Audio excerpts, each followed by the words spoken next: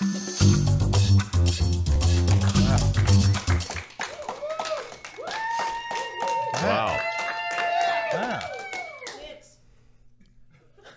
Jason's over there. He's nervous. This is the Ringer Live Lottery Show. We don't do this very often. That's Ryen Russillo. Um, we think this could be one of the most meaningful nights in recent NBA history, or it could be just a blip. I don't know. What do you think? We almost missed the show. I was so excited about this, and you and I sat in your office for way too long, and I was like, Yeah, oh, we better- did. we did. We were like, Am oh I supposed to watch the camera? This is informal, right? yeah, no, yeah. Look at the camera. Look at me. Right. You've done TV a couple times. Oh yeah, presented by State Farm. Right. It's an informal live lottery show presented by State Farm. So, wanted to start this out with the live, live lottery karma power rankings, which I have not shown you. No, these are Um, fresh. I like to figure out from a karma standpoint who deserves to win the lottery most. I'm a big karma guy. I like to tip my servers at least 20% unless they really do something terrible. Then I then it might be like 17%. But for the most part, 20% and up for my servers. Have you noticed some of the automated tipping though? And you see like thirty percent on a smoothie, you're like, come on, guys, who's, who's hitting thirty? It's a great point. Yeah. Uh, so lottery karma power rankings. Here are the questions that you have to ask yourself if your team is eligible for Zion Williamson tonight. Number one, is your team overdue to win a lottery? I think that's fair. Like if I'm a Cavs fan, I'm not feeling overdue. Like man, this is our time. It's no. Number two, Your anti-Cavs lottery thing though is well established. I think I saw you lose it one time during the actual lottery. I show. actually did. I kind of Yeah. like blacked out. Yeah. And unfortunately, it's on YouTube. didn't you demand like a rule change in the middle, middle Um, I of like, did. ESPN show? Yeah. the Cleveland fans are celebrating, and then there's some dickhead on the on TV just going nuts about how we need to change the rules. I don't apologize though. Uh, second, has the team who is in the lottery has their big picture game plan made any sense whatsoever, or are they just in here because of dumb luck? Number three, this is an important one. Did they handle last season with dignity? so like wait the a minute. Atlanta how- Hawks, is there- 23 and 30 in their last 53 ga- games last year. Dignified. so you're going anti. You're rewarding teams for being competitive and having winning records, just not tanking. Was there dignity? Number four, did they ever make you say, why can people divorce their spouses, but they can't divorce their teams? If your team made you say that, you're probably overdue to win the lottery. So that's a good couple karma. Knicks fans over there who have probably said that to themselves. I can't wait to see where the Knicks are ranked here. Last but not least, um, do you honestly believe the karma gods feel bad for you? And that's it. All right, so you look at like some of the teams that are available here. Like the Sixers could win the lottery. I would say they have zero karma, right? They I won- feel like no one's even. won the lottery. How has no one done a bad segment on that yet? Like, if you have Zion, how does that fit with Ben Simmons? Like, nobody even That'd be good. bothered. Maybe they don't draft Zion. Yeah. Maybe they take Ja Morant. Like, we needed a more traditional point. Play Ben at, ben at the two. No one even did that bad segment. I feel like we missed an opportunity. I'm ready right now. Okay. Um, Before we get to the uh, lottery karma rankings, are you okay with the way we do the lottery right now? Well, we changed it again, and It seems like we get- overcorrected it a little bit. Yeah, but what happens then is that this is this is exactly what happens. Okay, so whatever system you've had, and they've gone back and forth with it so much, it goes all the way back to the Keem stuff. Yeah. Whenever it was just well, whoever has the worst record, we'll just go ahead and do that. We're like, well, wait a minute, that's ridiculous. We have to do some odds here. The tanking's out of control. I mean, this tanking thing is nothing new. It goes way back to the you know what we saw some of the stuff happening in the eighties. The 80s was when the it started, yeah. like The all right, enough of Rockets. The Rockets ruined it for everybody. So then, when it became that Sean Yu shaking his head. Hey, shots look, fired. He's still you. licking his wounds from Friday night. I remember that It was just a 84 drive-by Sports Illustrated. Sean Yu. Okay, then we had the complaints that the worst team, once we had the lottery, we are like, wait a minute, the worst team in the league barely has that good of a chance of winning Right. their World War picks. So we're like, all right, so let's weight it heavily that way. And now, because tanking took off again, like none of this, there's no perfect system is the whole point. So now they've corrected again in a way where if a bunch of teams that have bad, if the Knicks end up with the fifth pick, then everyone's going to freak out considering how bad that team was this year. So I don't, I think the point of this is whatever percentage you want to put on it, no one's ever going to be happy. Who's in more danger if the Knicks get the fifth pick?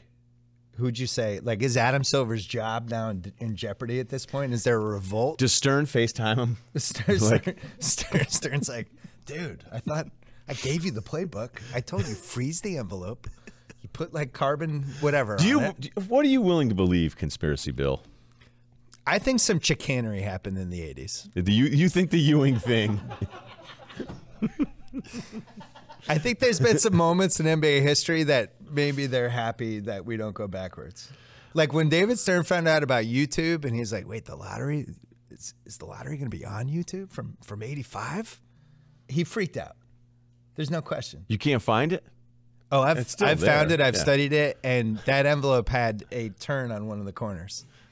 It absolutely 100% did. You can watch it on YouTube. Would you leave it to the turn? Like you know how older people can be with envelopes in general. I don't even mail anything now. But I'm just saying, like, would you trust something that important if you were going to fix it to just search for the one with the dinged corner? So that's the the counter to this is David Stern was a middle aged man at this point who would have had to, while looking at the camera, just magically about that. grab the thing, felt the cold envelope that had the corner, and just pulled it out. My counter is: What if he practiced for like three straight weeks? This is all he did. And he had a mustache. He's just that year, eight too, hours right? a day. Yeah, eight hours a day. He's just like, all right, nope, do it again, David. No, no, reach down. No, do it one more time. And then finally, like week three, he got it. He's like, I got this. Let's go. What'd you work on this offseason? so, uh, I don't know. Whenever anybody brings up the whole thing being fixed, I always think of Duncan on the Spurs because that's where you want one of the greatest generational talents in Shaq San and the Magic. Yep, Shaq and the Magic. But that one's a little bit easier to explain, or just the Cavs' run of recent history. So Well- I'm just I'm not willing to believe it. There were a couple shaky ones this decade.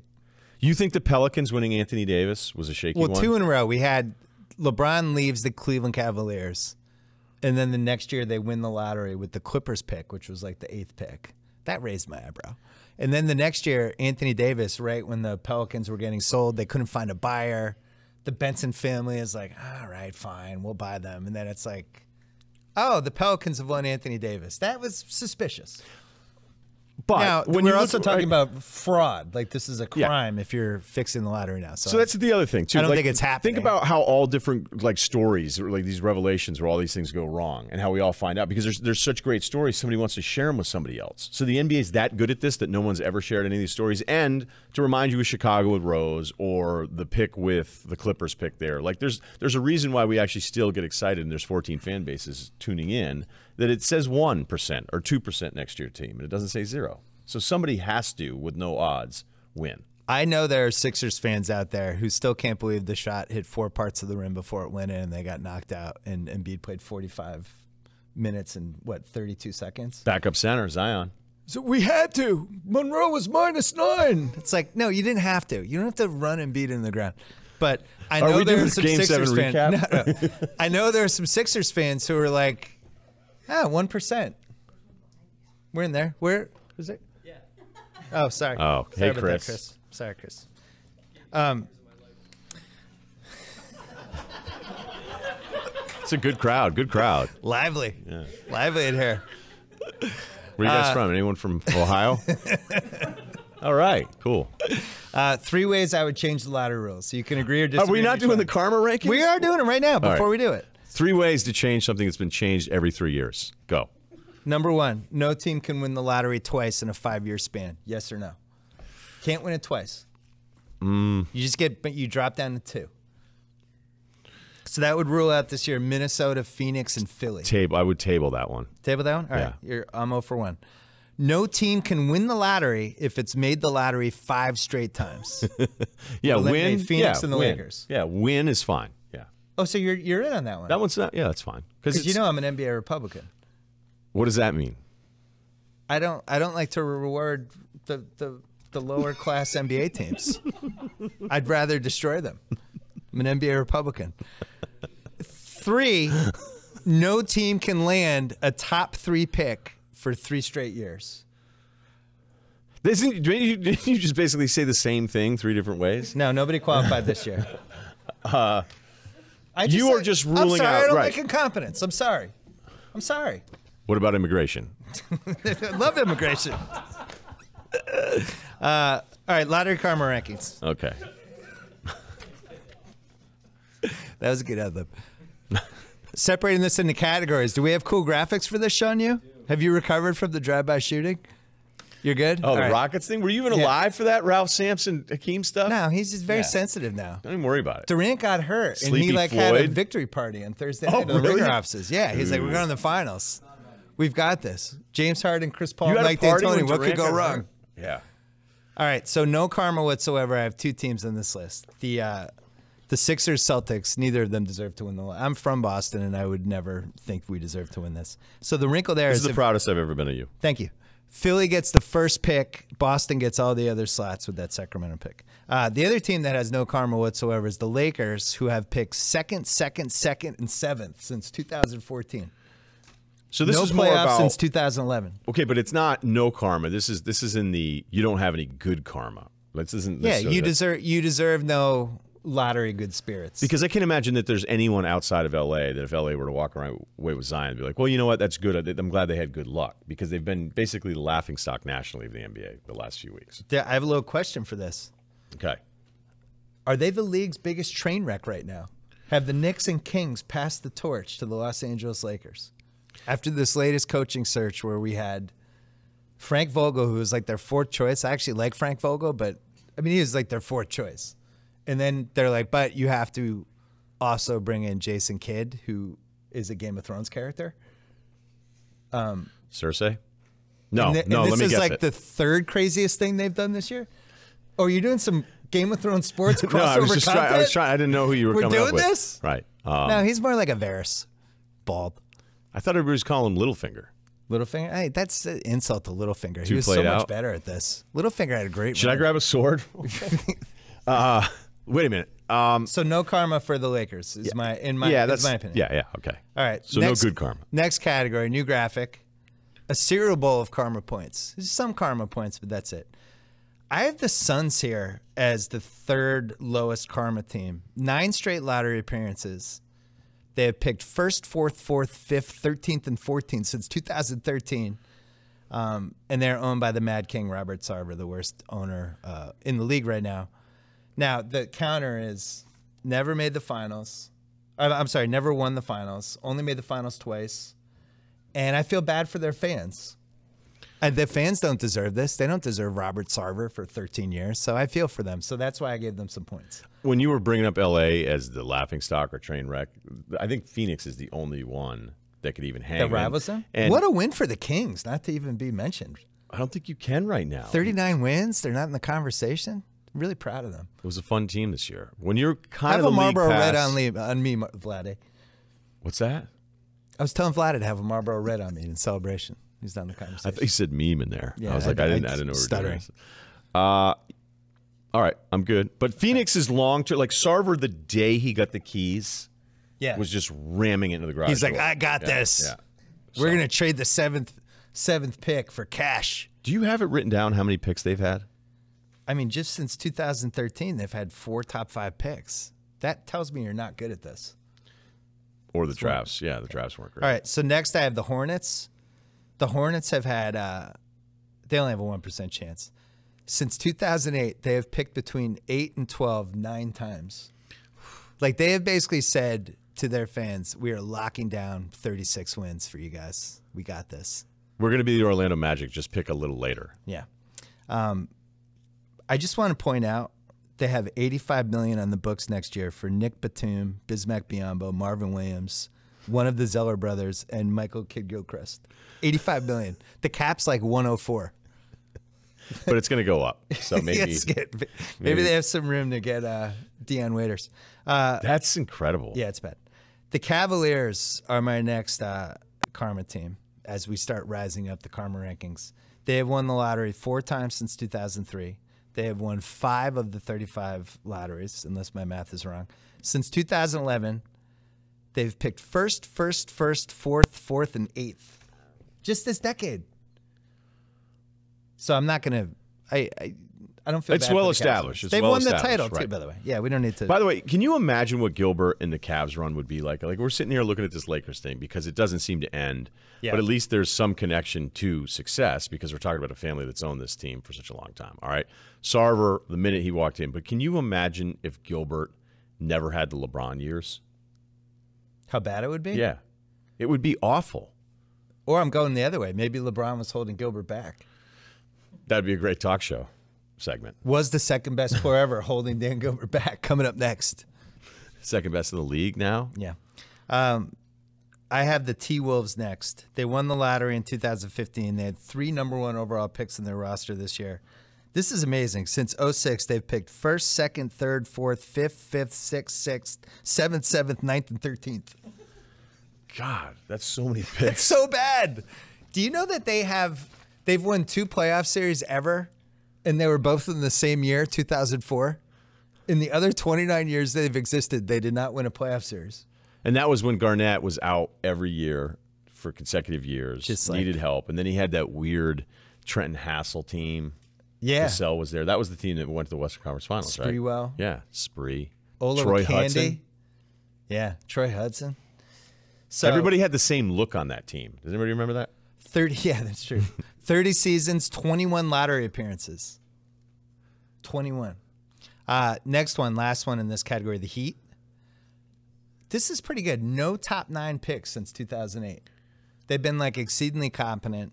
Uh, they've only had their lottery card pulled once as a top 3 pick, Beasley in 2008. Um, my thing with them, I wrote this 2 years ago. Too pretty to be in the lottery? Like too sexy of a destination? won some titles. They have ca- salary cap, no state tax. Pat Riley. It's like they don't belong here. This is the lottery is for the downtrodden. I don't like having the Heat in there.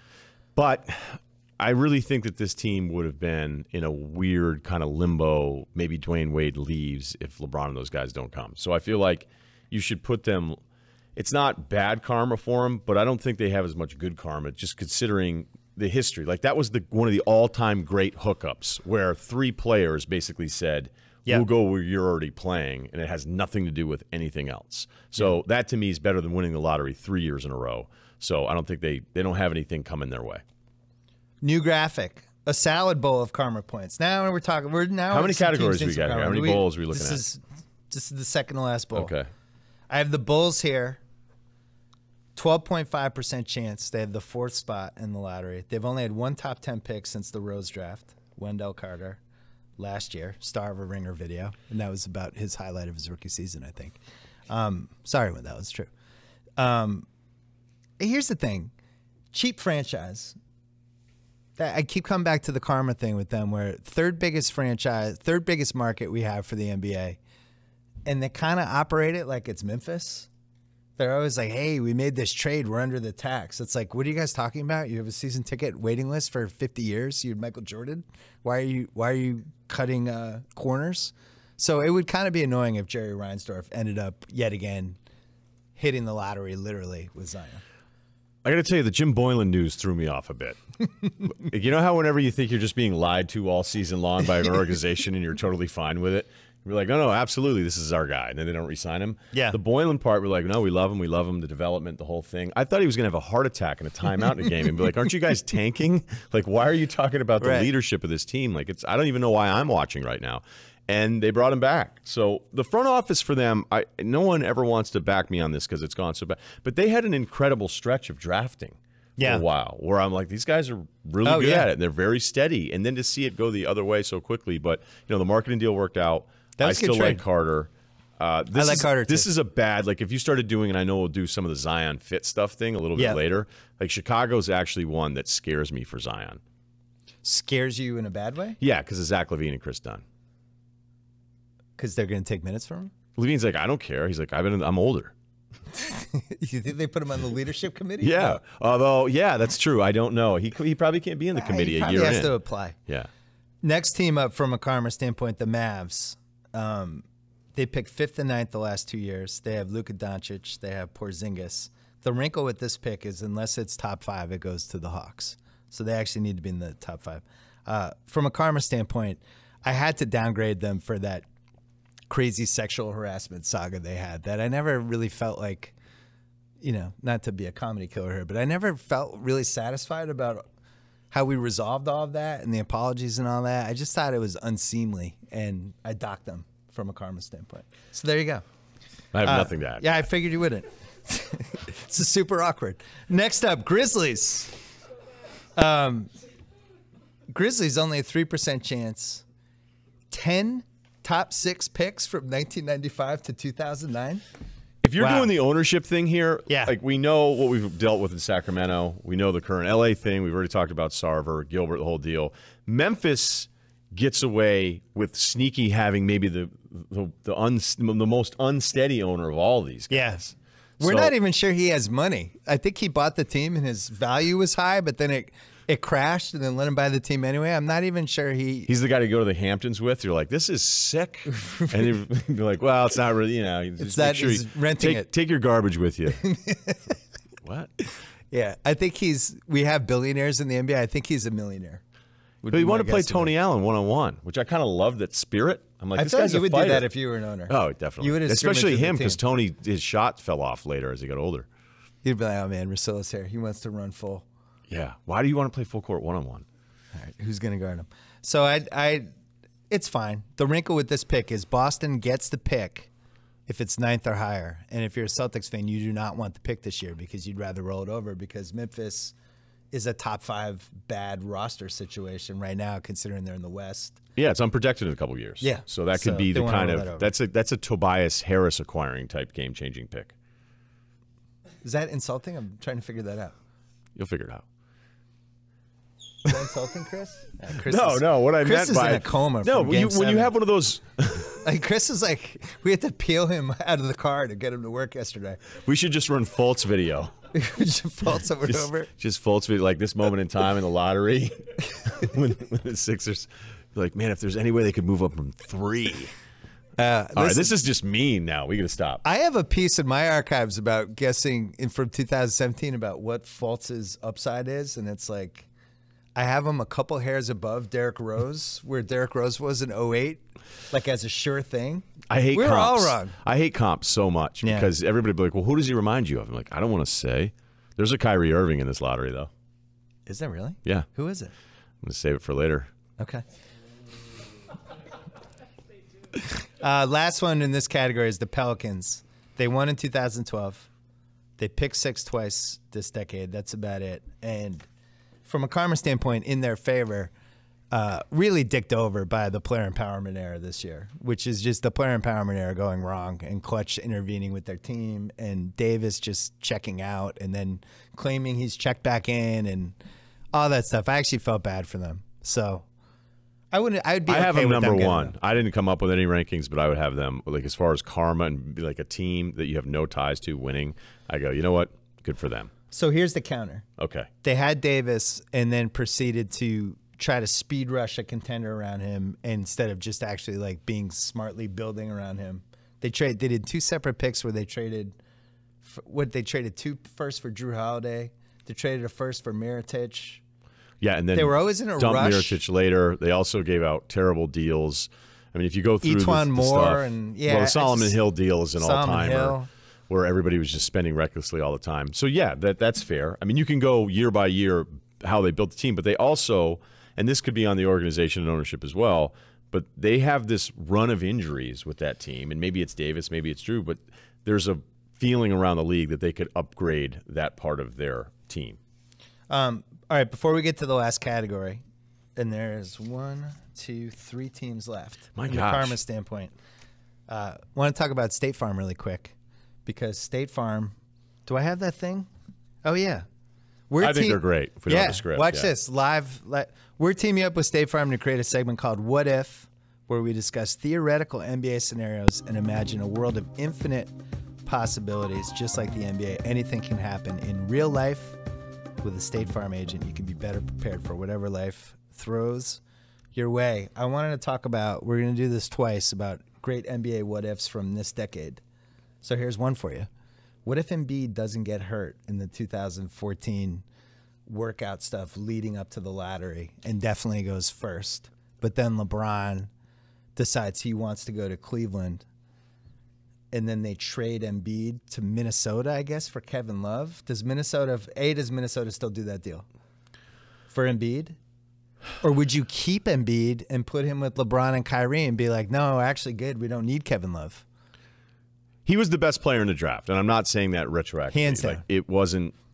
Wiggins was a really good prospect, and even Jabari Parker. You're like, okay, this makes sense. These guys are going to go to the top three, but you're so scared off, especially a bigger guy, a foreign guy with those kinds of injuries, that it was right in Hinkie's wheelhouse because he's like, even better, I don't have to, I don't have to do this. But remember when it's funny you bring this up because when LeBron wrote that letter about coming back, but the Love Wiggins thing hadn't been done yet, and Right. LeBron mentioned everybody except Wiggins. And Anthony Bennett. Right. And it was like, wait a minute, you picked the guys that are going to be in this trade that everybody's been talking about. Yeah. And there was one theory that because Wiggins hadn't signed with LeBron's group, that that's why it was done. I don't think LeBron wanted Oh, to play they would never be that spiteful. but LeBron didn't want to play with any rookies anyway. No. He's never wanted rookies. He wanted them to trade the pick. All the times they've had picks, he's like, let's just trade these. I don't. I'm not going to play with some rookie.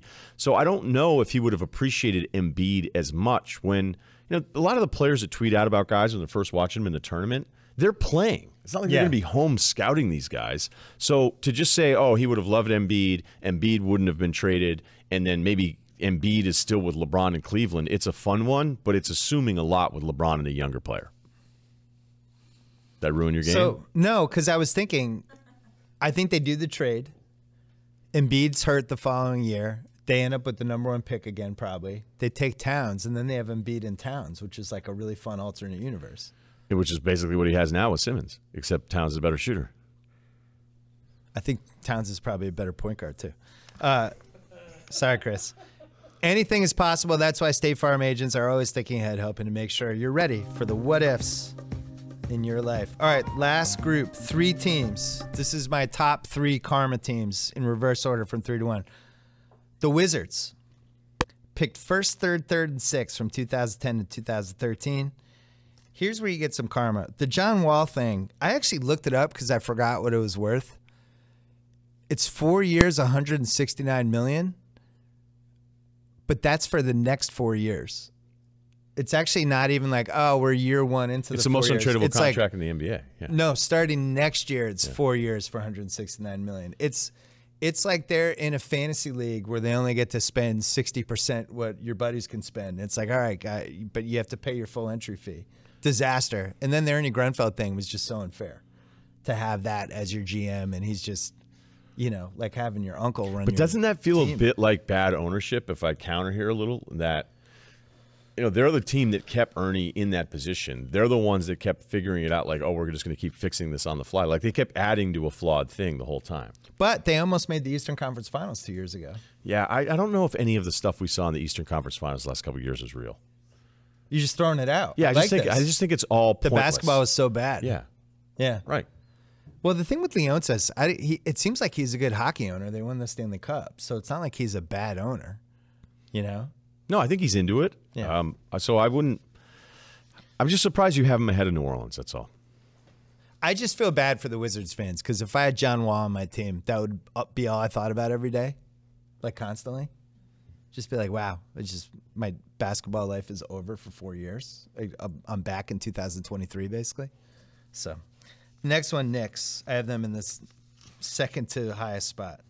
Um, sorry, Jason. Did this? Did this? Uh, did this take something out of you to, to get you to do this? Because this is kind of your ownership rule here, or does that mean you just feel that bad for the fans? to me, it's the fans trump all the other stuff. I couldn't put them one because they've been so incompetent the last uh, really 20 years, 19 years. Uh, and they have an owner who just has no idea what he's doing. I just feel bad for them.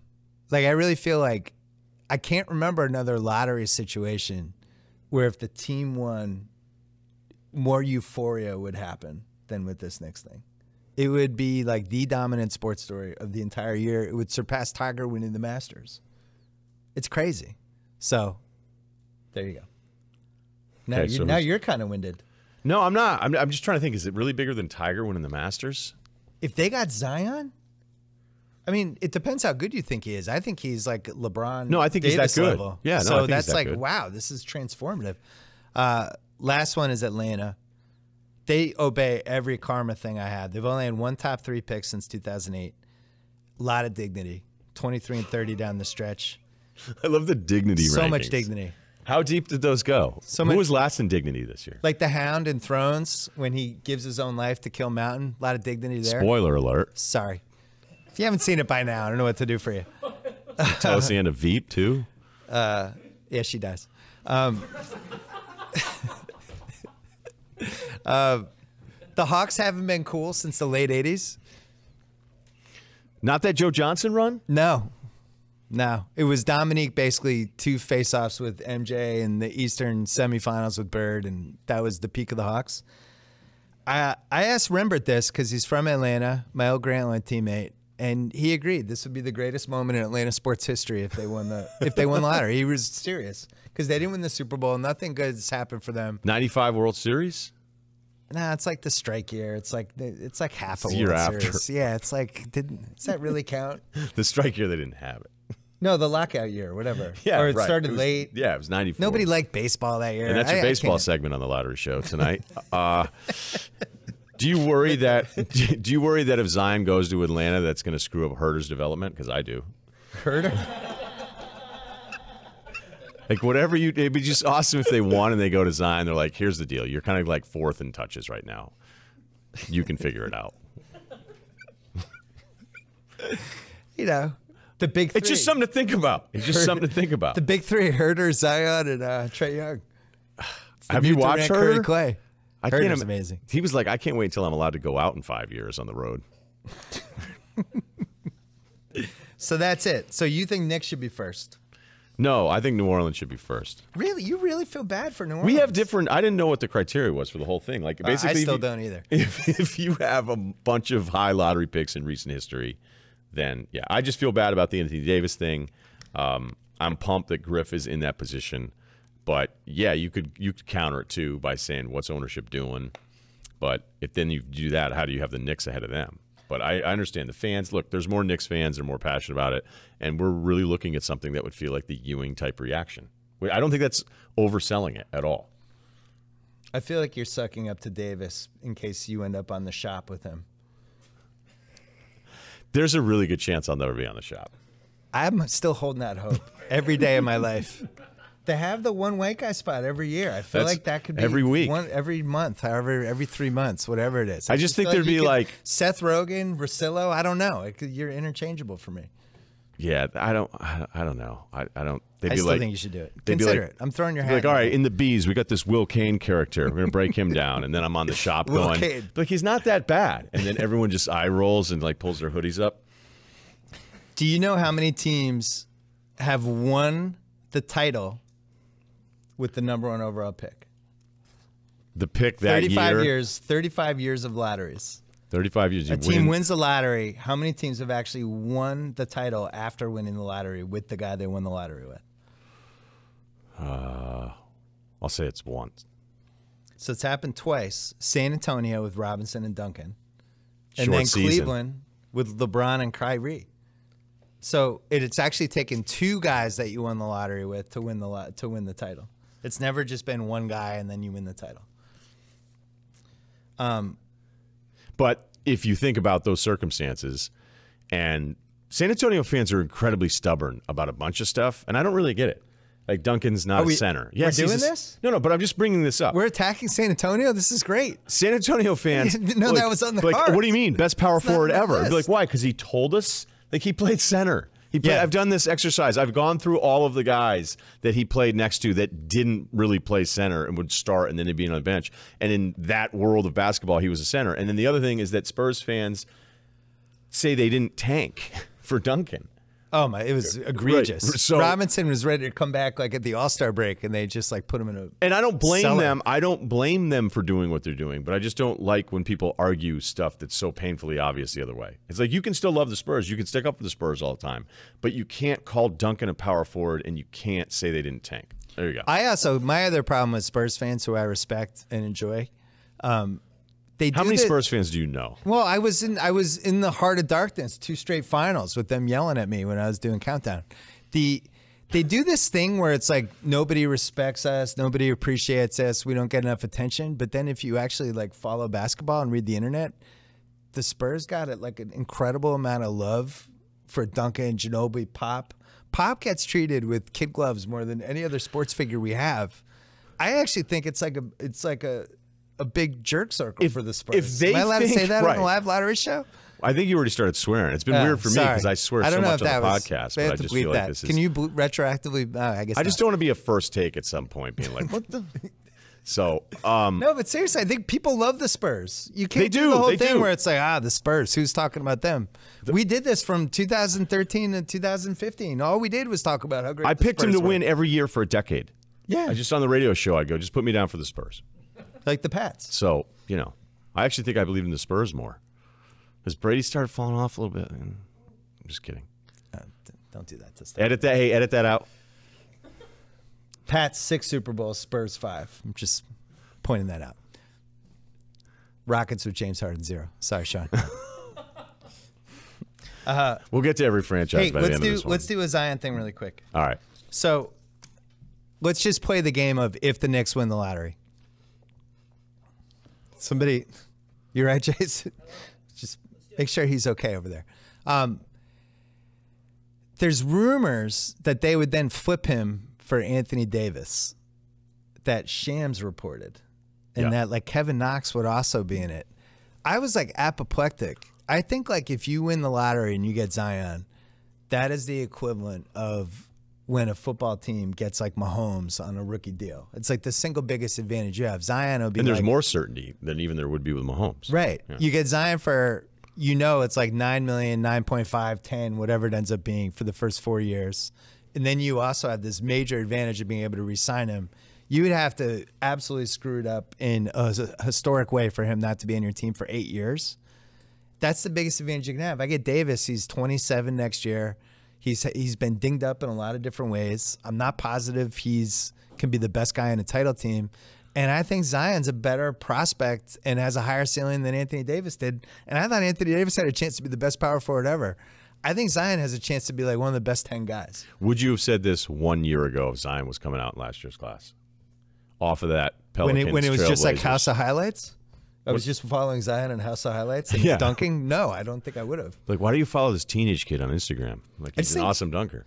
I'm all in on Zion. I'm still waiting for like the butt dot dot dot with him. It's like I heard Colin today talking about well Hayes? he's he's not even six six. He's two eighty five already. I'm not And the- going the Cowherd's- pressure you could put on your knees and ankles. I don't like Cowherd's height weight guys because he would be. I love Colin, but if he was trying to make a point, he would just shave off two inches in this in the segment. Oh, I saw what you did there. That was good. No, it's true. Yeah. Um, I just think like I think he's a sure thing.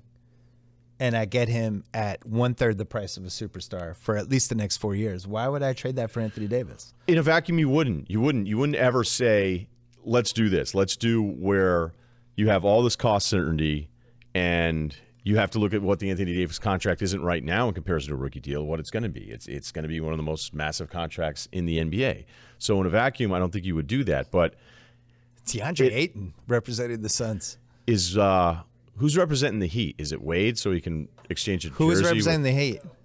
oh, I thought it'd be Wade, so you get footage of him doing a jersey thing with like Russ What do you- Granik or something. Well, how'd you feel about the Ewing move? I thought that was a bad move.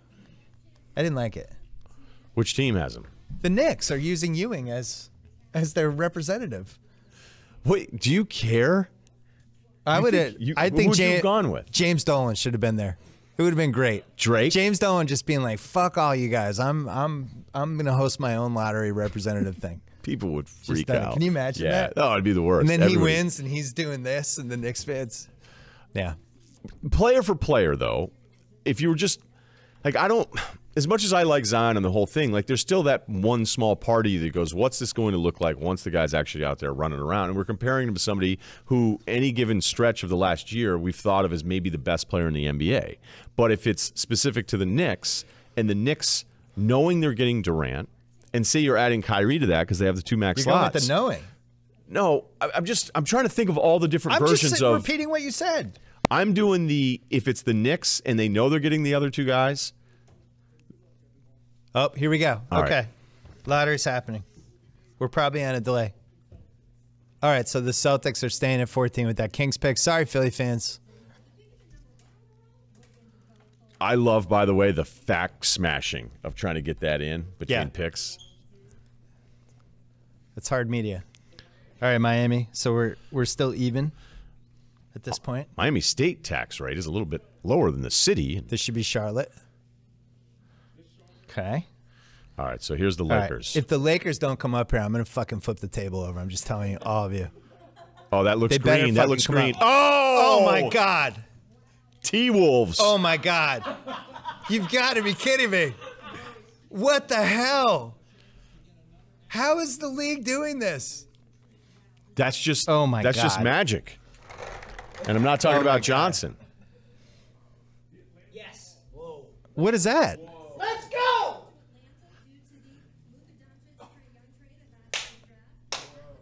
Wait a second. Oh, that's their second one. Oh. Yeah, they have two. I'm super confused. Wait a second. What is happening? Okay, so now that means Boston's not going to get the Grizzlies pick. the Grizzlies moved up, so Yeah. the Celtics don't get their pick. Yeah, but you still have a chance that Zion's on the Lakers, so you're not in a great mood yet. Oh, if Zion's on the Lakers, we're folding the ringer. Oh my god. The Atlanta Hawks. Wow, the Hawks got screwed. Go. Oh the Hawks had a had the fifth best chance of winning this, and they moved back three spots. I'm so confused. Let's. Oh Griff is just locked in right now. Oh my God. They dropped three spots. Well, right, we're we're Go. So the Knicks could really end up five here. Because we already know three teams moved up. Lakers. Oh my God. So they went from three to six.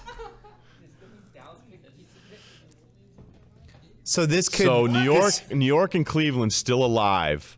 this could be the two of the three worst teams. This could be the Knicks. Oh. Okay.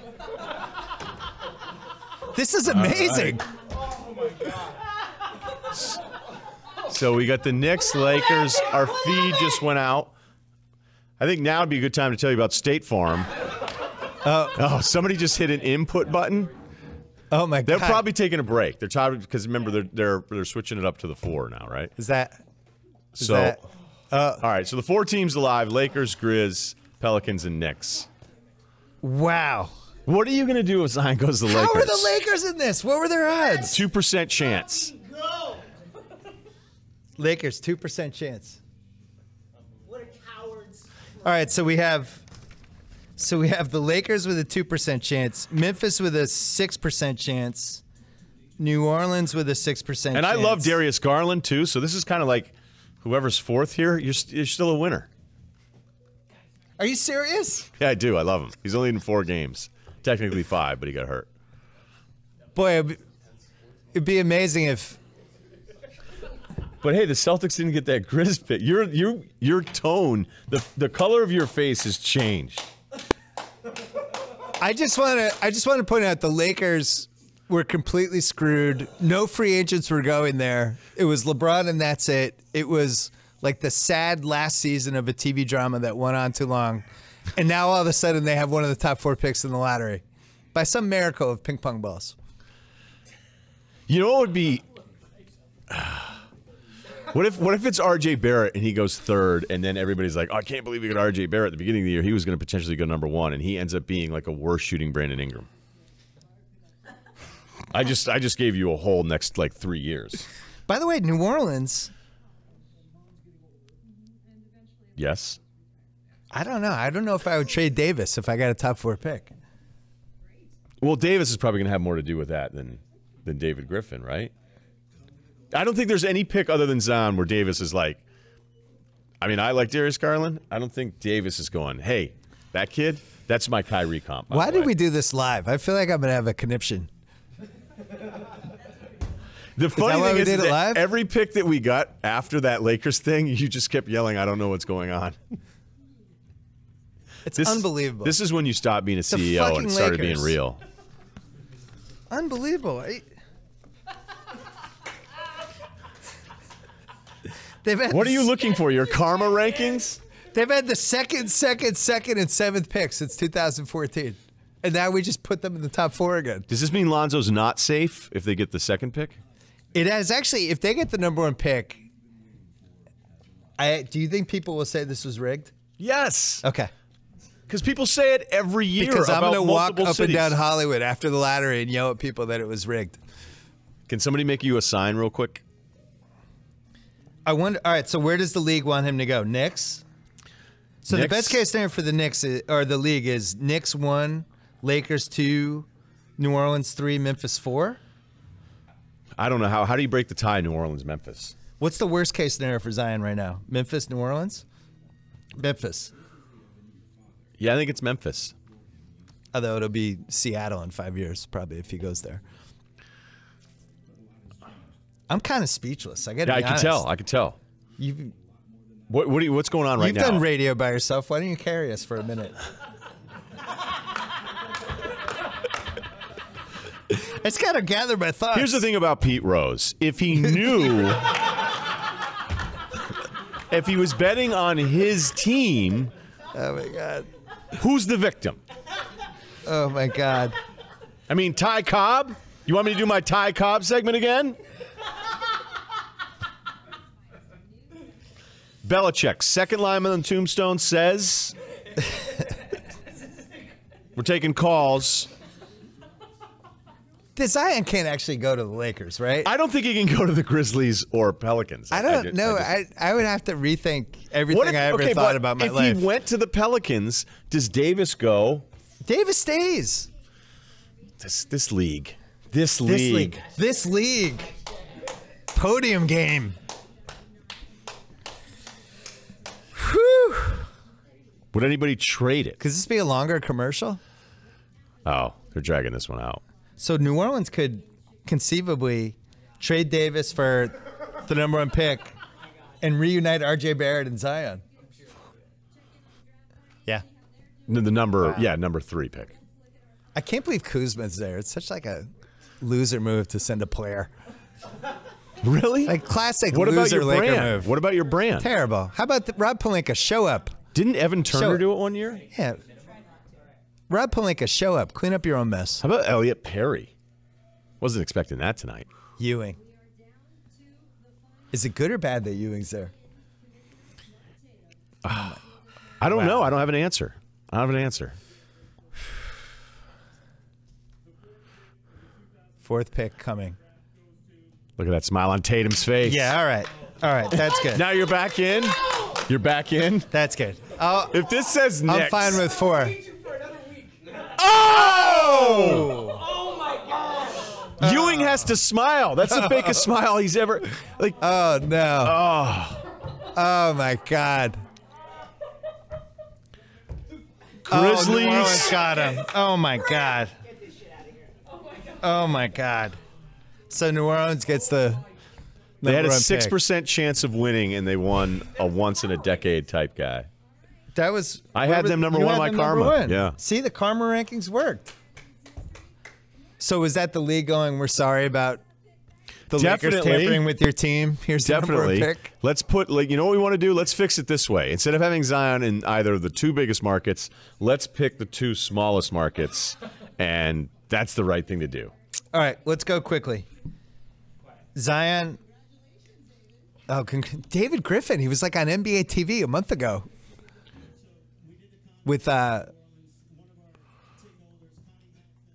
All right. All right. Sorry. Sorry. We're just too. All right, Let's so talk let's about- go. Let's go in order. New Orleans with Anthony Davis and Zion Williamson. Jrue I'm Holiday. not doing it, and Jrue Holiday. I'm not doing anything. I feel like that's like a contender next year. Yeah, but you got to make sure Davis is. Oh, so you wouldn't even trade. Even if he said I'm not re-signing after next year, you'd be like, no, you're going to play with Zion. We're going to see. It give it at least till February. By the way, all the bigs that you looked at, like the DeAndre Ayton thing, like sometimes if you have two bigs that can't shoot right now, and Zion, he, just he can't. I'm not saying he won't be able to, but he was 31 percent from outside. It wasn't great. It looks really ugly. Everything else about him is basically perfect. But when you want to talk about perfect, big big combination, It's one of the best- It's about as good as he could have hoped for because he's playing against he's playing next to somebody who's big enough to kind of protect him defensively, but then can play away from him. And by the way, I feel like you could run a high screen with those guys. Couldn't you with Zion as the as the ball handler and Davis as the screener? And vice versa? I don't know who would stay up on Zion in an NBA game yet until he proves himself enough, but I actually I, I would I would look at it more as Drew you have Zion in the post kicking it back out to Davis, and you can't double on either side. Or Zion Yeah, well, I always like Zion off the screen with a head of steam. Yeah, So then he could just Davis Davis him to stays out. pick- Right, Davis stays out. And we both love Holiday. I thought he was the most right. underrated guy last year on a trapped on a not so good team. I really like their team. I think they have cap space too because um, Holiday makes like I think 24. Davis makes some, but some guys came off. I think Solomon Hill. Is he Solomon off? Hill was a ten year deal. They could stretch him. 10 year. This is the first 10 year deal we've had. They could stretch him though. I think that team's a contender with those three guys. I really do. I What, think I don't think they what? would win the title, but I No, think they could make no. like the second round of the NBA playoffs and and could they do what Portland did this year? That's about as far as I'll go with it. Just Yeah. in his first year. Could they be frisky? Okay, what if Davis tells you and you're Griff and says, "I'm still not re-signing after next year"? Would you just go, "All right, fine"? Like, what would you do? I'd play it out till February and try to see if he was happy with Zion. Because if Zion is really a transformative player, I'd want to see it. Do you think Kyrie was at home going, ah, "Knicks"?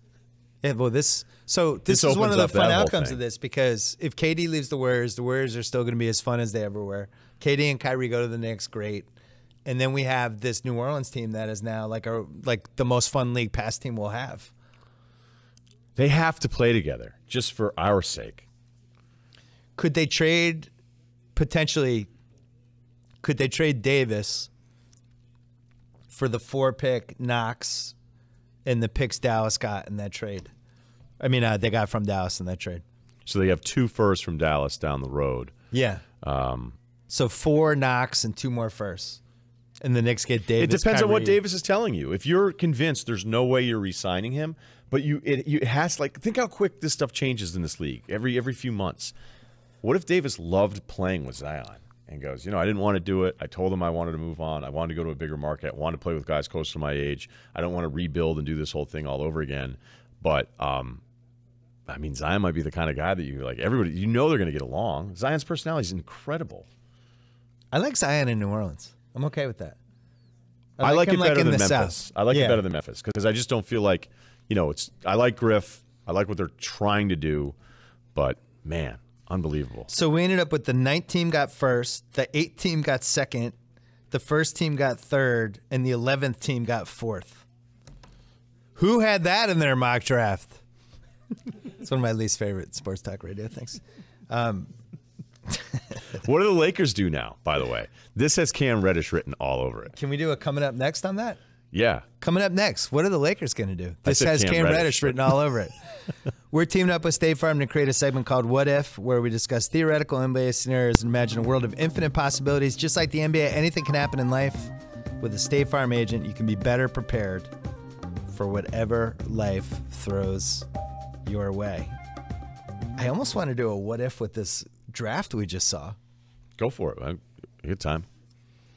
Nah, let's do. Uh, so we did this on the rewatchables, but I want your take. What if OKC beats the Warriors in 2016? What does the next three years of the league look like? Uh, Does Durant go to the Warriors? I think Durant was going to leave OKC because of the Boston? Westbrook thing. No, I don't know. I mean, you know, that whole thing like, hey, Boston, you came in second. I, of all the rumors about Durant that whole year, the Boston stuff didn't. I, I don't care about the presentation and all the stuff out in the Hamptons. I only think he was going to Golden State, but I do think he wanted to get away from Westbrook at some point. So you I think, it would. I think it would have been Boston, or um, he re-signs for one more year with OKC, does the one and one, and then that's it. Um, all right. Anything is possible. That's why State Farm agents are always thinking ahead, helping to make sure you're ready for the what ifs in your life. Uh, somebody who wasn't ready for the what ifs in his life, Jason Concepcion. Can you come over? Oh, I thought he I'll left. share my mic with you. Um, I can lay out. I can jump up. no, it's, we're good. No, no. Um, here, have a seat. So, the fourth, you're not the fifth pick. That was a win. Great. I feel fine. I feel good. You don't, the, you don't come up for the fourth, for the fifth pick or the fourth pick. That was Im- incredible. Uh, at that point, there was, uh, you know, real, real high grade cocaine in my bloodstream. Uh, I was tasting blood. I tasted blood in my mouth at that point. Uh, I was feeling really, really good. F- fifth and fourth picks, I was feeling extremely good. How mad were you about the Lakers thing? Was that a monkey I wrench didn't care. Didn't I care. didn't care. You're just I, focused on the. I liked it. I liked it because I liked that there was some weird stuff going on. It, Okay. it, like I just make something interesting happen. I liked it. So you get the third pick, It's number three. Yeah. which is not Zion and it's not Ja Morant. Yeah, I don't. E- I don't even know who the other guys are. It's like Ryan? Tyrion Lannister is. Uh, they're looking at him for four. Looks I, like I a think good RJ guard. RJ Barrett's still going to go really high, but um, uh, for as good as good as Zion was towards the end, and he was incredible. Right. RJ and Reddish just got worse. I mean, Barrett shot 29% against the ACC from three, shot 25% from three in the month of March. And then Reddish, I don't know what a pro scout would watch in his Duke games that would get you really excited other than just his athleticism. But uh, yeah, I'm bumming you out even more, man. So that's not really what I meant to I, do. at the same time, I feel good. I honestly feel good. KD's coming, right? KD's coming, Kyrie's Right. coming. He said- Does, does RJ Barrett make sense with those two guys though? Because my answer would be no. Kyrie doesn't like him, I heard.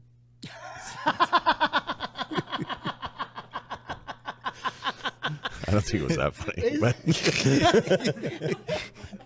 He's he's laughing. are you pain. just delirious right now? Yeah. That's why I love that. Why doesn't Why doesn't uh, Kyrie like? him? I'm just kidding. It was a Oh, Kyrie okay, joke. great. It's a Uh, Bill and I You never Kyrie know joke. with him. no with Yeah. Kyrie? You'd believe any any I- sort of teammate. I would honestly believe it. Be like So who do you want now at third pick? You're not ready to think I- a I'm not- forward, I- it's- a yeah, big guy. I guess R.J. Barrett. Would right? you have rather gotten the fifth pick and not gotten that close? No, it's fine. Okay. Like let's you know, like I don't want to be down in Bol Bol land. You know, like wondering what's going to happen next. Well, what about third pick and Knox for Davis? let's go. Okay. Let's do it today. That that cheers you up. yeah, absolutely. And again, we're getting KD. Things are great. If you get the best player in the league in a month and a half, Yeah. you're probably going to be okay. I, I'm feeling good about that. I think it. you're going to be okay. Yeah, thank you very much. All right. Thanks Thank for you. joining us. Thank you. All right, we're going to wrap up. Jason, heroic, noble, heroic effort. Um, okay, let's do Memphis. I think they take Ja Morant 100 times out of 100. That's probably the easiest. But that kinda opens it up. How about how great is that? Like opening up what the Conley possibilities are. Now I think Conley could actually play off, and I think even Ja could play off if you had to. Does he have one year left or two? Conley has uh, that was a three year, wasn't it? Or was it know. four? No, I think it was massive. I think he has. I thought Two he had years one. left? I thought he had one year left next year, and that was it. But maybe I'm wrong. All right, we're gonna look it up right now. So yeah. So what if they? Is there a possibility that they would like R.J. Barrett more than Ja Morant? He's got one year left with a player option for thirty four million. So, so he's that's got two years left. Okay. Yeah. Um, say that again. Is there like- a possibility that R.J. Barrett would go in that two spot and not Ja Morant? Okay, beginning of the year, RJ was in the conversation with Zion for number one. Even though Zion had all the hype, in the beginning it was a little bit, little bit like, hey, you know, this RJ Barrett's right there with him. He had a big game against Kentucky. Yeah. That first game of the season, his transition, the way he attacked, and you're like, this guy's a monster. And then it just, I don't know if it was Coach K and what they did, if they became too Zion reliant, but it just over the course of more and more games, you saw more holes from him. So I'm sure there's some scouts that are still totally in love with him. I'm sure there's scouts that still like Cam Reddish, but Reddish was even a worse version than than RJ, and Reddish is a better athlete than Barrett is.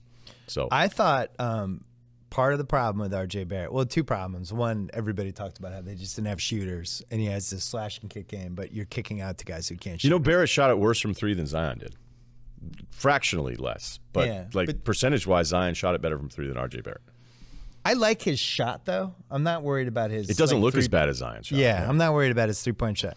The second thing that I think affected him, and I think it's totally justified, is, you know, from the get go, people are like, why is this guy shooting? Give the ball to Zion.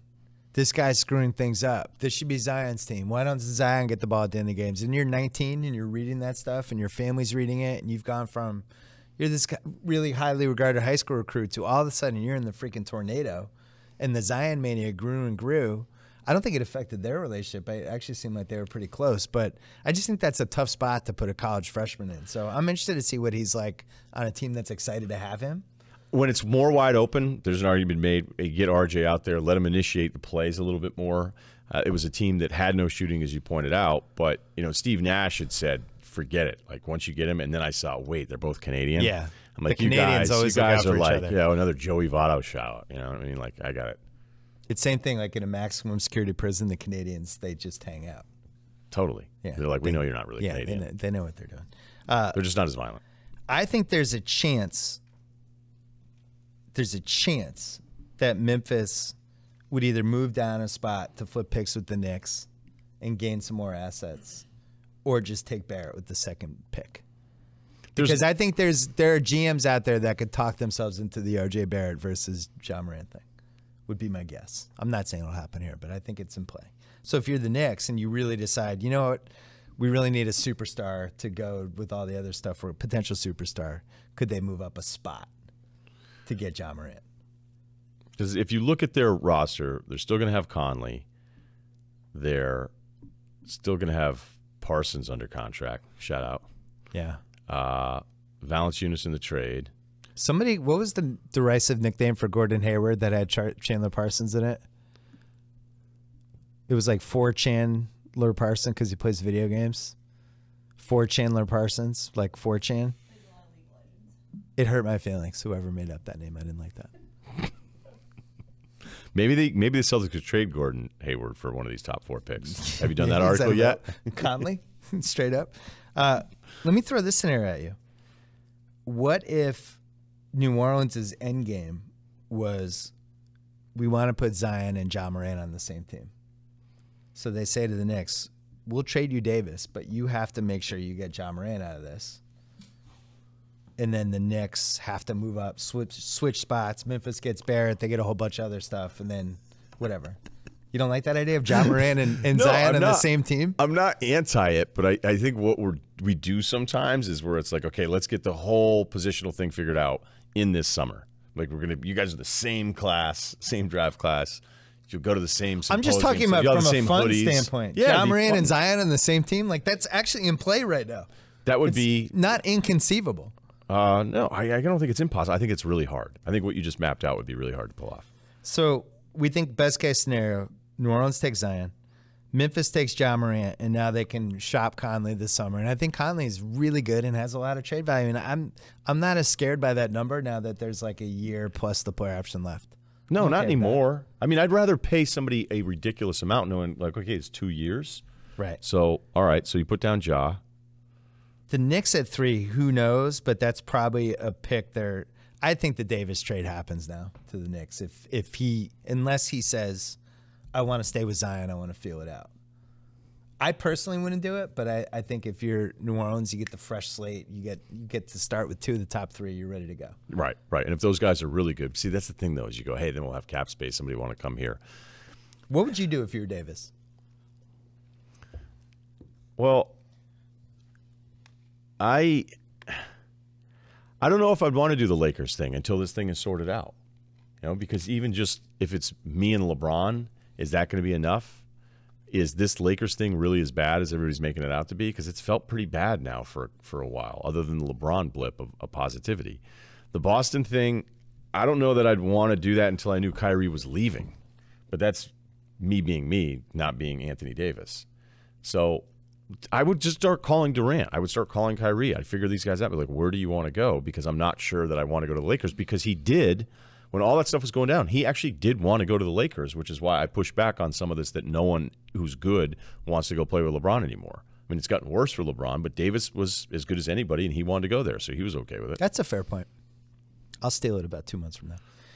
The NBA draft uh, guide that the Ringer did, Kevin O'Connor at his top 30 prospects, he had Zion one, RJ Barrett two, Ja Morant three, Jarrett Culver, guard at Texas Tech four, He's in the. He had that bad shooting game in the finals.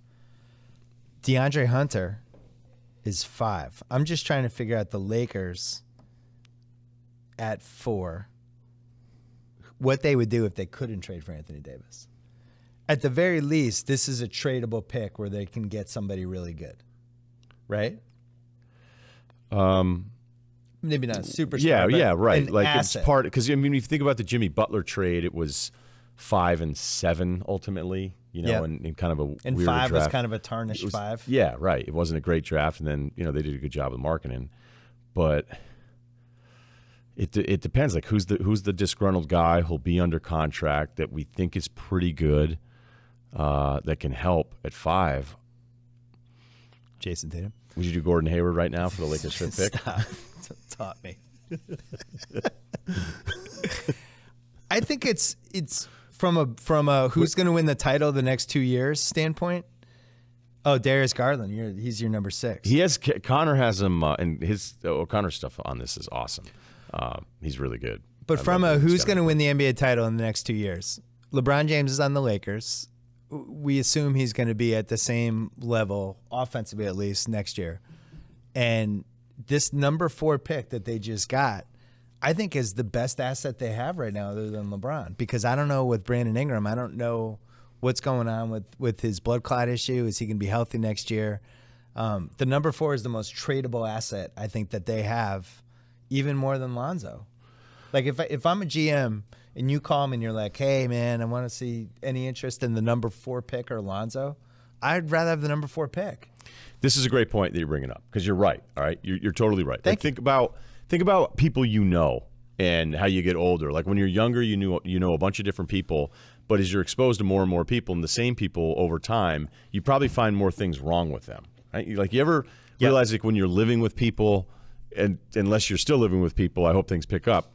But you know what I'm saying. Like if you're my do. age and you have a like that'd be weird at 40 to have a bunch of roommates. It's like in in college, senior years, when everybody starts arguing at two in the morning. Because right, you start Yeah. to realize, like, you know what, you suck. I'm around you all the time. Yeah. Because you, the Use more the you, toilet paper again. right, the No more more you learn paper. about Thanks. the person, it's weird, and that's why people break up. But like, the more you learn about that person, it usually ends up leading towards negative things. And the Yeah. reason I'm bringing all of this up is because with draft picks, it's the exact same thing. When it's a new pick and the wrapping is still on it, and you haven't seen Jarrett Culver not be quick enough or take bad shots, Yeah. or you've looked at DeAndre Hunter and say, you know, he's a nice role piece, but I'm still hoping you could be a superstar at number five because we've seen guys go there or later end up being really impact type players. The newness of this pick and that it's your decision and you get to say that's always more valuable. Well, It it's also like is. You look at Culver, Hunter, Garland. Let's just look at those three.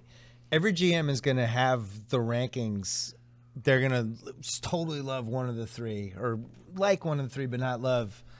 And you can really talk yourself into it as it gets closer and closer. Every year interview. It's like, yeah, we brought Russillo in. God, what a great guy, man. Happens Such a lot. pro. He had a tie on, really firm handshake. Asked me if I had any kids. This is our guy and you just like you you you go off a cliff with it. So I Somebody think asked like, me if I had kids the other day, and I didn't think that was my guy. it was unrelated. well, the thing with this pick though, they have cap space too, so they could if they feel like they can't sign a free agent, they could use this number four pick and take somebody's contract in and actually be able to fit the contract in. Right. Not have to load up on a bunch of contracts or, you know, sometimes with the matching of salary stuff, which I still hate as a mechanism to prevent owners from spending more money than they want to. But, you know, you end up trading, like you guys could adr- agree on the prime principle things. And it's like, now I got to give you all these other pieces I don't even want to get rid of because of magic salary. But that's a long, old rant. Like I'm trying to think, for example, and I don't think the Wizards would do this, and I think they're smart enough not to trade Bradley Beal.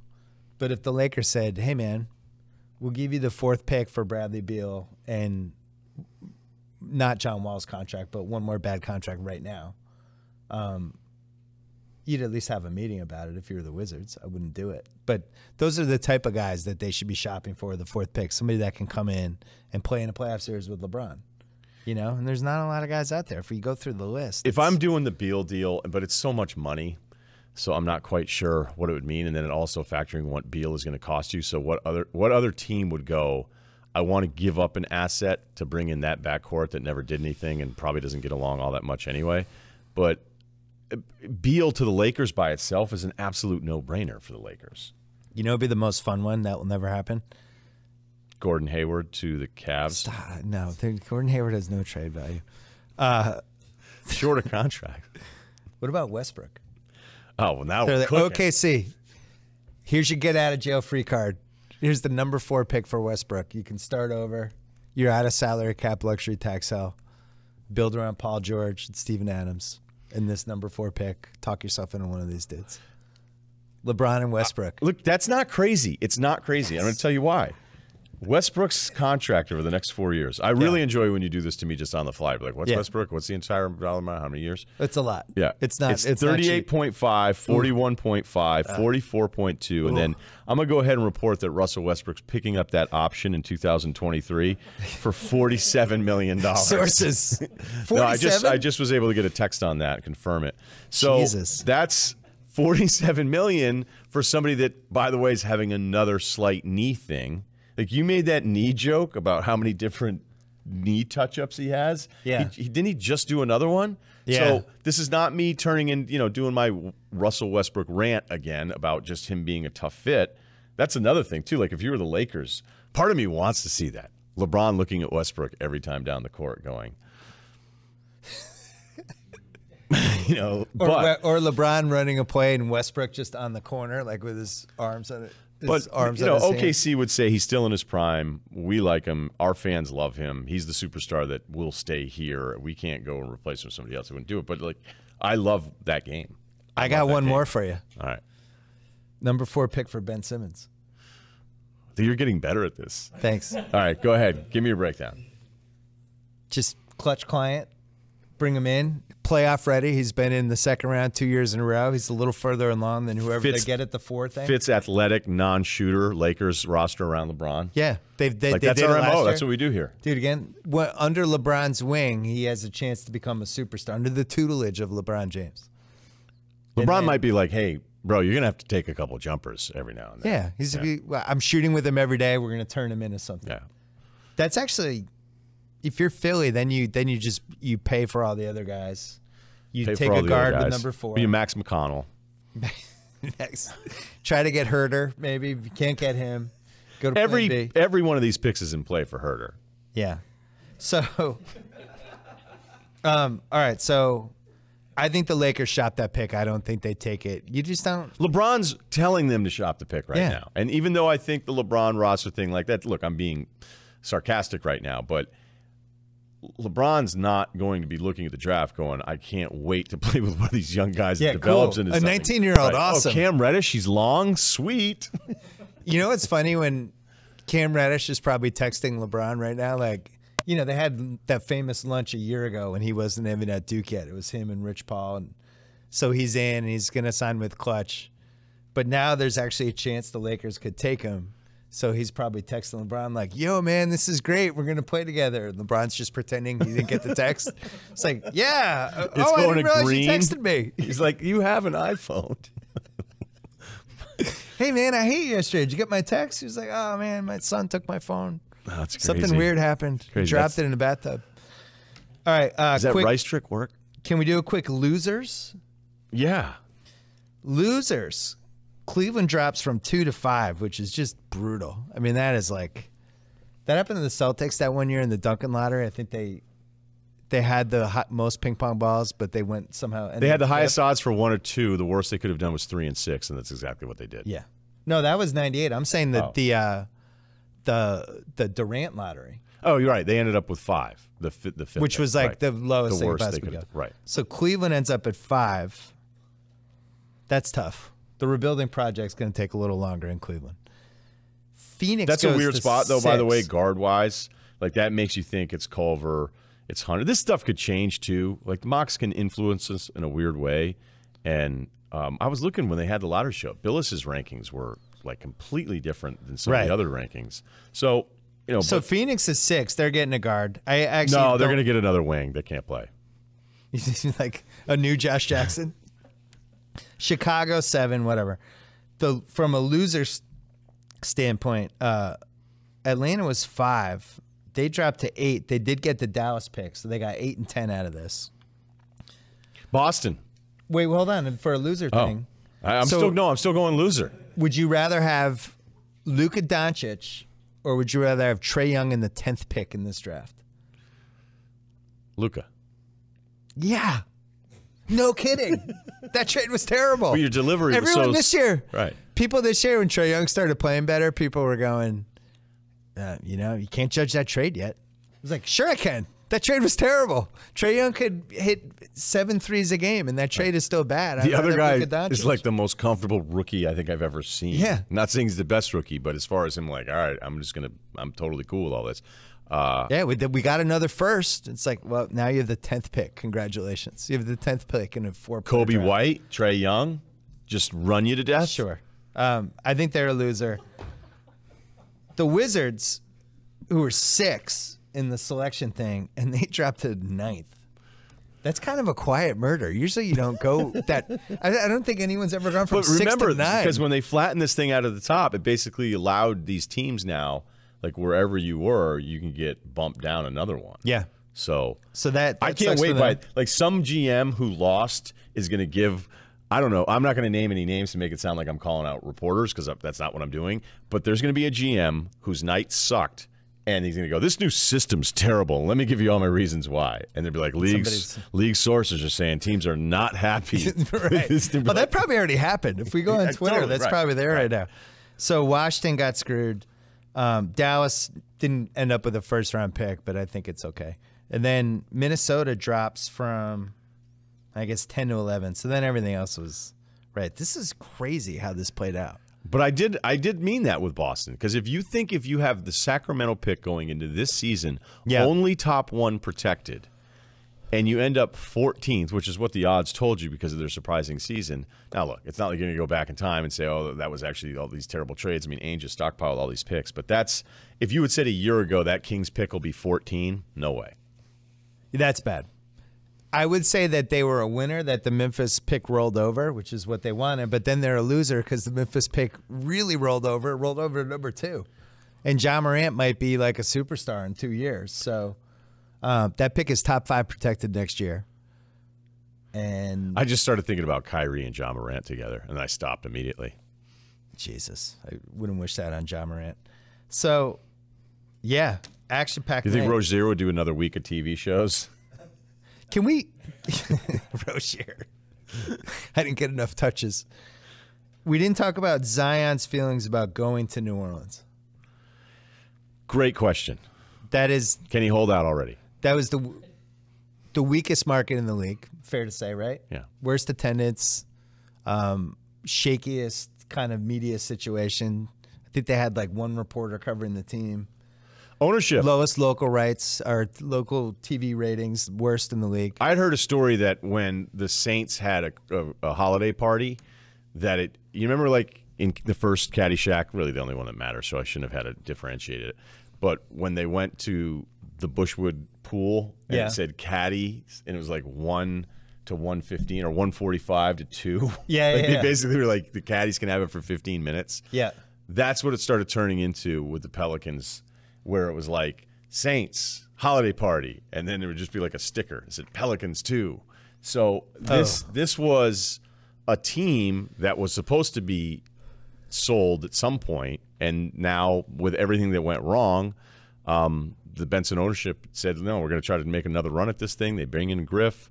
I guess the coaching situation's more stable than we thought, but it needs it still needs to prove from the top down and not having like a football department running the basketball department. It still needs to prove, but ultimately Zion, you know, it's not going to matter. Like you we haven't seen a guy get that upset before he even came into the league, even though that's what the league has become. I think it's I think the three the four best prospects of this century were LeBron, KD, Anthony Davis, and Zion. And I'm not going to rank them. I just think out of everybody we've had this decade, these were those were the four that really stood out. And New Orleans got two of them this decade. It's pretty good. Yeah, and we Can't don't we have no idea we have no idea how it's going to turn out. Haley, what are they saying on the internets? Uh, What's the big topic right now? They're mad. They're mad at which at New Orleans getting it, Uh, yeah, yeah, mad at New Orleans. Not the Lakers getting the fourth pick. Nobody thought that was shady. Well, people are saying that um, they think it's the smartest thing Anthony Davis has ever done, going back to New Orleans and then not playing, allowing his team to get just in the perfect. Oh, there, we didn't talk about that. Because it's stupid. Davis is like, he's like, Actually, guys, that that's all, folks. T-shirt Yeah. part of the ploy. that's all, folks. ploy, We're right. winning the lottery. What You I didn't is I tanked for myself I love the Pelicans. Where's that extension? That is interesting, though. so they drop. Wait a minute, the theory that he did it on purpose? no, I don't agree with that Oh, theory. I'm saying if he hadn't stayed out of those games instead of the ninth pick, they're like the eleventh pick, and then they don't You never have know. the balls to win the lottery. Right. The balls, I mean the ping pong balls. Um, yeah, he must. I feel like he's burned the bridge there. Like he'd really have to grovel. If I'm a Pelicans fan, and I don't know what that would be like. I don't think there's a, a shitload of them right now.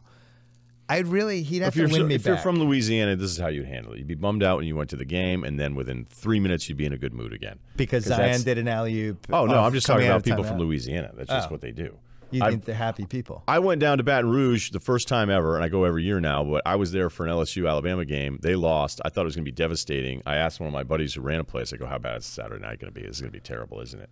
And he goes, "It's Louisiana." Like, Yeah. And then an hour later, I thought they won the national championship. So, um, So you think they'll forgive Anthony Davis? Everybody's too happy. well, that that's that's selfishness. It- It's the same. It, look, it's the same Celtics fan that's MF and Kyrie in the tunnel at the end of the regular season. That if Kyrie resigns, he's turning to Murph, going, "Dude, you know what? I think he's grown up." You know, I like this press Right, conference. Right? Yeah, like I think he said the right thing. He hit all the right notes. yeah. So that's what would happen if Anthony Davis. The, the angst isn't about like now I hate you forever. The angst and, and the the disappointment is that you're telling me you don't want to be in my city. And if he just said, you know what, I screwed up everything all last year. Let's see how the Zion thing goes. That's like you think about how you would act. You, you would just be like, okay, that's he's staying. Order the jerseys. I, the only part I didn't like was the part where you had Kyrie coming back to Boston. The the craziest thing that might actually happen, Okay, which won't happen, but just I'm throwing it out there. I'm running out of paper. New Orleans trades for LeBron James.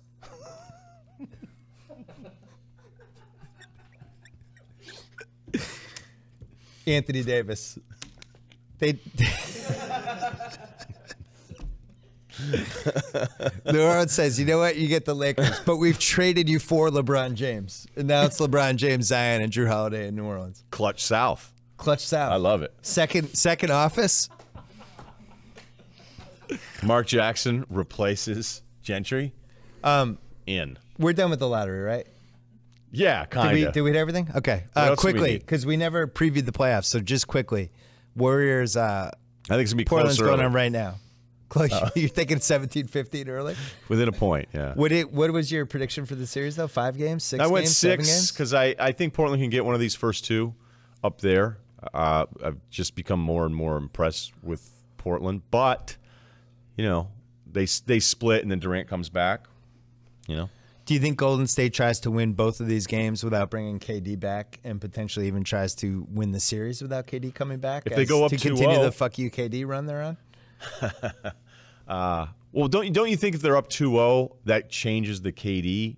Yeah, you're, Thing. you're taking it super careful at that point. And they did that with Steph before. Yeah. Now they were playing lesser opponents, but when Steph got hurt in 16, I think you could kind of tell that they were like, you know, I think we're still going to be all right. We're still going to be all right. Um, and that was uh, that was pre I KD. did, didn't quite get enough information about KD's injury. It's like he strained his calf. It's like strained calf. He's out for three weeks. Like it. it I wonder what's actually going on with the calf. I never Like, trust any like of a these guys anymore. tear? Like if I, I at one point I was like, if I get another freaking Malcolm Brogdon update, you know, Oh yeah.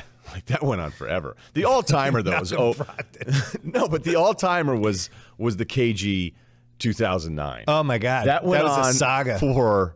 I mean, Lost was like speeded up. You know, It's like Mark Spears every day. it was just uh, every update, day. No update. And then some guy would think he would have info, and all you realized was that Ainge was lying. So my point is, is that with these KD updates, uh, there's not many people I trust on it. Not that they have bad information. I just don't know what. When it's medical stuff, teams just you know they don't have to tell you. I feel like uh, the sweep is in the no KD sweep is in play for the Warriors, where they just dial it up in like a really really fu way. Do you still think they could be either teams in the East without KD? I think they could. Yeah, don't you?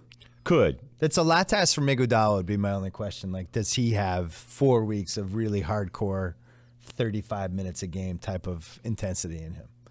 Would be my question. yeah, because it always has felt like a different series, and it just happened again. Where towards the end, you're like, you know, it just it, it becomes a grind to him. Other series? Did you have time to think about that one? Yeah. Toronto, Philly. I did. Uh, I I mean, uh, uh, Toronto, Milwaukee.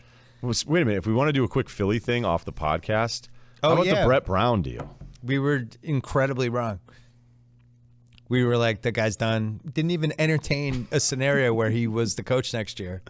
And then they waited two days and they're like, Brett Brown's coming back. Okay, to be fair though, had you heard from anyone all year No. long that Not was one like, thing. "Hey," but that's a good case of sometimes NBA sources not having good information on that because we didn't know what ownership wanted to do with Philly. It reminded me, I put this in the Ringer NBA Slack when the OKC brought back Scotty Brooks for the 14 15 season. That's when they came out of the 14 comparison. playoffs, and everybody was like, oh, they're not going this is done. They got to get a coach who understands how to stagger Durant and Westbrook and stop doing things like playing Kendrick Perkins and this many big moments and run some sort of an offense. And he's done.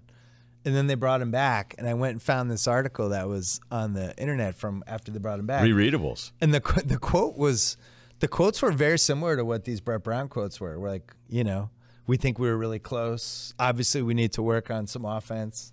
Our stuff, our issues with him were more structural than anything. Like that, like to not realize that a backup center was going to become important in a game seven on the road seems like something you could have figured out in March. But remember, the not staggering Westbrook KD stuff was because those guys refused to do it. Like, we want to play the first 12 minutes of every game. Don't break us up. And then if you're if you're Brooks, there's not really much you can do. And maybe, you know, to try to give because you're right. Like all year long, it's like they're not going. to This isn't going to work out. This is going to work out. If he's out early, so they get the second round exit. You're wondering if, in a weird way, it would be a good thing down the road if they didn't make it to the Eastern Conference Finals, so they could go ahead and fire him. And it's not even close to what happens. They endorse him, but I don't know if they're going to try to train, change up some of the substitution pattern stuff because if they're bringing all these guys back, they got to get a little bit more creative based on the matchup. And I wonder when the extension kicks in for Brown was what we're talking about is maybe the team's like, you know what we don't want to do, just eat 15 million right now. Yeah. Or they felt like they were close, and maybe they are. Uh, maybe they're Well, you closer could than we talk yourself pretty quickly into that. Ah, if that ball doesn't go in, Totally, we right. win overtime. We're in and Eastern then Conference we're- yeah. Finals, Milwaukee. You know, was it a bad matchup? To me, it's more of a you think you're going to get rid of them, and then you actually look what the options are. I mean, there were like three teams in hot pursuit of Monty Williams. That's who- amazing. I me. mean, why is that not that. talked about more? That three teams were chasing him, and I, I thought he was like below average on New Orleans. Was my takeaway. Yeah. or average, like nice guy, but not like a good game coach. Isn't that funny? Like I'm like, wait a minute, why does everybody? And I don't want to, you know, because everybody's gonna be like, oh, Monty Williams is a nice guy and all these. Yeah, we get all that stuff, but it's funny how quick that can change. And then when people look at Vogel and be like, well, if everyone else is getting the five years, I'll never get. Lawrence Frank said this to me once after he'd had two runs at it. He goes, What a know- name drop, Yeah, just hang him out. Lawrence. He's probably watching. Um, if if he said to me, he goes, "Hey, you don't usually get the third chance when you're a non-player. You don't get that third head coaching gig." Yeah. And so Vogel's looking at this way, I mean, his flame out in Orlando was pretty quick and also kind of surprising because I think we all liked Vogel. But then Vogel was really good saying, "These are my my issues with offenses that I just didn't update my approach to." Yeah, But and he studied with Brad Stevens last year and all in, kinds of stuff. in what world would you have thought Vogel was the L versus the Monty Williams win? right. Like, oh, we couldn't get Monty Vogel Williams. almost so we made the Vogel. finals against LeBron and Wade in their primes. They were up 2 1, making people wonder what you could get for Bosh. I think That was your podcast. it reminded me there was uh, in the '90s, like Belichick got fired, and people were like, you know, a couple years passed, and then he became a hot coaching candidate. I mean, look how that fucking turned out.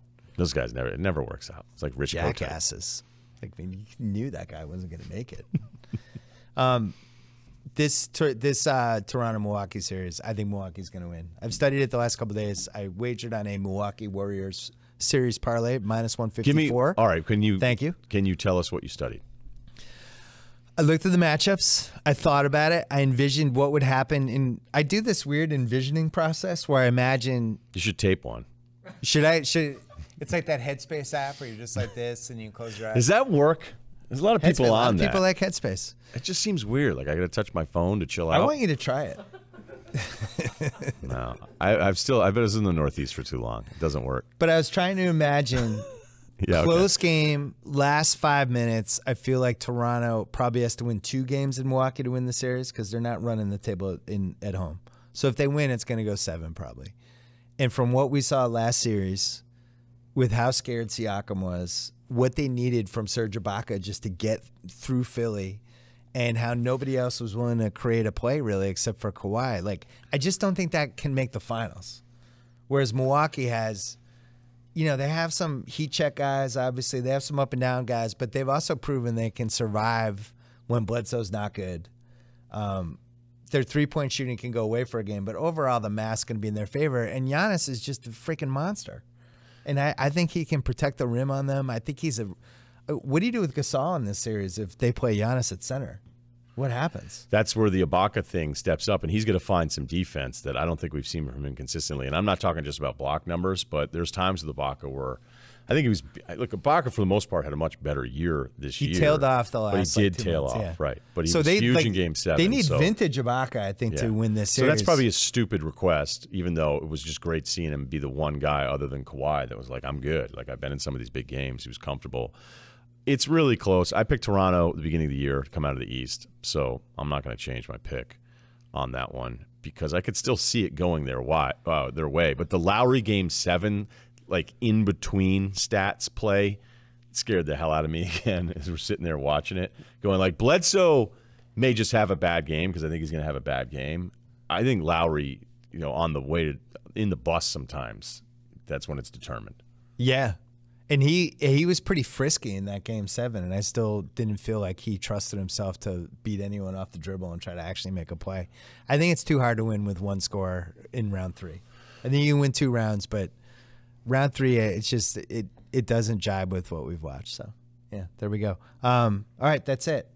I'll, this was really fun. This was an exciting night. Zion Williamson is going to New Orleans. Were you saving that all night? That was good. You like that? Yeah, it's like 09 Simmons. Thank you. Uh, thanks for watching the Ringers Draft Lottery Live Show presented by State Farm. If you missed any of our show, it'll be up on the BS podcast feed later tonight. Don't forget to check out the Ringer NBA reaction show tomorrow. Thanks to our great Ringer crew for helping us do this. Thanks to Sean Yu for recovering from the drive-by shooting earlier in the podcast. 17? How many innings? Oh my. Wait a minute. That doesn't. Seven innings, 17 Ks? Holy mackerel. Who did he play? Pawtucket? This is it's exciting. Uh, thanks for watching and check this out on the feed if you missed the tail end of it. Uh, see you soon.